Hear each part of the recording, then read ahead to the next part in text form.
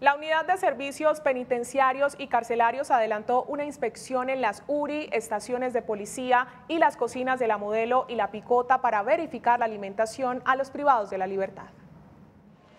La preparación, la calidad de servicio, la temperatura, traslado y tiempos de entregas de los alimentos hicieron parte de la revisión. Andrés Díaz Hernández, director de la Unidad de Servicios Penitenciarios y Carcelarios USPEC, consideró que es vital estos registros con el fin de dar cumplimiento al plan de humanización y transformación del sistema penitenciario del país. Cerca de 2.500 personas eh, población privada de la libertad que recibe la alimentación por parte del USPEC.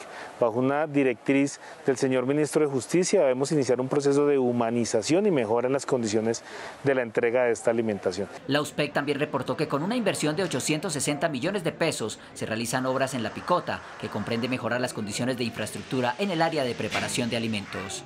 Visitamos las inversiones cercanas a los 2 mil millones de pesos que está haciendo la Unidad de Servicios Penitenciarios y Carcelarios, que permite por un lado mejorar las condiciones del casino para la alimentación de uno de los, de los complejos que hacen parte de este establecimiento y por otro lado también aspectos relacionados con áreas de aislamiento para la población y así poder controlar y mitigar la presencia del COVID en este establecimiento. La USPEC continuará haciendo labores de inspección, vigilancia y control respecto a los servicios de alimentación para la población privada de la libertad.